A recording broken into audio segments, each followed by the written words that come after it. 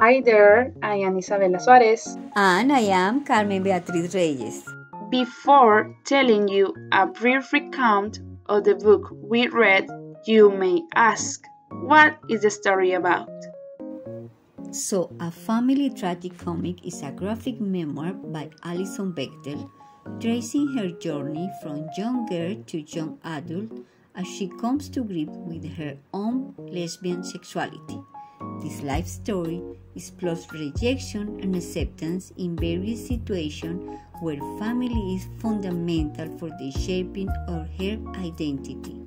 We can resume this seven chapter story in four age parts. Her childhood. The memoir starts with Alison as a young girl playing with a father who she compares to both Daedalus, the genius inventor of Greek myth, and Icarus, Daedalus' son, who flew too close to the sun on wings designed by his father and plummeted to his death. A metaphor that really defines such father daughter detective relationship. Bruce is the person whose attitude shaped. As a fighter of the World War II who inherited a funeral home, Alison details Bruce's obsession with restoring the family's old Gothic Revival house, which she believes was largely motivated with, by his desire to keep up the appearance of being a good Christian family man, even as he was also secretly having romantic affairs with underage boys. Her father's relationship with his mother, Helen, is similarly strained, although John Alison has no idea why. Here, we can start noticing part of her identity as she hates feminine clothing and would prefer to cultivate a masculine safe image. This trait put her at odds with Bruce, who wants his daughter to look and behave normally. Of course, she was the only girl in a man dominated world by two brothers and one sissy father. Her adolescence. As an adolescent, Alison continues to want a masculine image and role, while Bruce still desires to express something feminine in her. When Alison experiences puberty, she resents the growth of her breasts. When she first menstruates, she keeps a secret from everyone and doesn't write about it in her diary. When she goes to high school, she ends up becoming a student in her father's English class. This period is a time of bonding between the two as Alison comes to enjoy the books her father assigned her to read. This new bond over literature lasts through Alison's first semester in college. A writing skillful lapse starts when Alison decided to write a poem about nature, and Bruce added a stanza onto it. Later, in a similar incident, Alison was drawing in a coloring book when Bruce got upset that she was using the wrong color, causing him to take over and shade it in for her. Finally, these episodes of paternal rejections remain repetitive until she becomes an adult. Her adulthood. Alison leaves her hometown to attend college. Over time, Alison begins to realize she is a lesbian. At first, she researches her newfound sexuality from a distance with theoretical works. But after attending a queer student group meeting, Alison comes out as lesbian, first to friends and then to her parents. Her father seems pleased, not shocked. It shouldn't surprise her as a hypocritical person with two lifestyles in one body could show. Her mother, however, is displeased and reveals to Alison that Bruce is gay and has been sexually involved with men and boys. A flashback here emerged. When she was 13, Bruce's secret almost surfaced when he offered a young boy a beer while searching for the boy's older brother, who was most likely Bruce's lover. Surely, a younger girl wouldn't notice in such restrictive parental times. Later on, around the time of her midterms, Alison becomes involved with her first girlfriend, Joan, a poet. Joan not only mentors Alison's sexuality but also changes her perception of literature by offering radical interpretation of well-known stories. She exemplified this with an incident where she and her friend Beth dressed in boys' clothes, which though it was short-lived. During spring break, Alison makes an effort to connect with her father. The closest they come to doing so is during the drive to the local movie theater, where they have a conversation about their respective identities. After a failed attempt to go to a gay bar together after the movie, Bruce and Alison never again discuss their sexuality. The last time Alison sees Bruce alive, she introduces him and Helen to her girlfriend Joan. The final age when summer arrives, Alison and Joan move in together.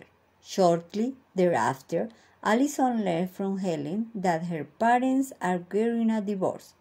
Two weeks later, Alison is in a library when she receives a call from home. Helen informs Alison that Bruce was struck by a truck on the highway and killed.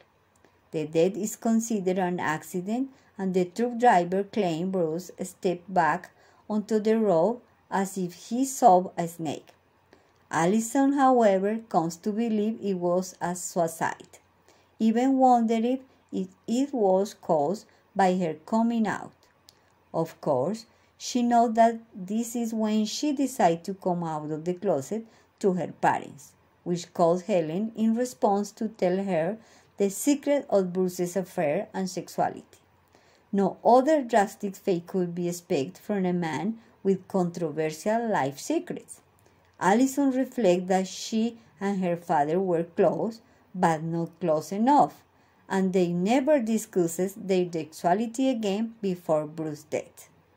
The story ends with an image of her jumping off a diving board into a pool as a young girl, with Bruce there to catch her. Alison narrates that Icarus and Bruce did hurtle into the sea, but Bruce was there to catch Alison when she left.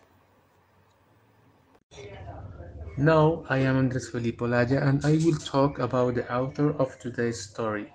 Let's focus in main aspects of her life that can help us to understand better her literary work. Alison Bechdel is a cartoonist born in 1960 her literary work has been widely defined by her passions of comics. This 2006 commercial success, Fun Home, a tragic comedy family, is a graphic memoir that allowed her to reach great acknowledgments. Let's go back in time. During the 80s, um, she managed to write a series of comics narrating lesbian characters with a feminist portrait of sexual identity issues. Her early works were single panel drawings, but then it evolved into multi panel strips. At the beginning, stories were diverse in representing members of the sexual minorities, and then her urban lesbian community came up the spot in the latest works during the 90s. Surely she had to dedicate more time to create autobiographical strips for other characters for magazines and websites. Nevertheless, the economic benefits from the commercialization of previous works allow her to abandon her job to make most of the time illustrating comic strips. This change on priorities is well reflected in Home with an art technique that registers her memories for readers to catch the moments, the transitions, and the character description throughout the story. Let's return to the present. It should be noted how Home made her to receive more recognition in the lesbian community as it was hailed as the best book of 2006 by the New York Times, Amazon, the Times of London, and Entertainment Weekly. Even so, Fun Home was also nominated for the Best Graphic Album Award and Bechdel was nominated for Best Writer Artist. Let's see the aftermath. Such recognition for the story, plot, and art display was translated into Fun Home being premiered as a musical off-Broadway at the Public Theater on September 30 of 2013 and opened officially in October 22 of 2013. The score was by Jeanine Tesori and the book and lyrics were written by Lisa Kron. Kron and Tesori made history as the first all-woman team to win a Tony Award for Best Score. No doubt, her time with his father during the English classes in high school marked a moment in her literary life that still has an impact for the representation of her identity and others across the United States. I guess I'm older, and it's harder when you're older to begin. Peeling plaster, sagging roof, two missing stairs, a buckled wall. I'm fired up to do this, but on my own, oh, so much damage, broken windows, pipes are shit, crap veneer. It's hours later, Jesus, I'm still standing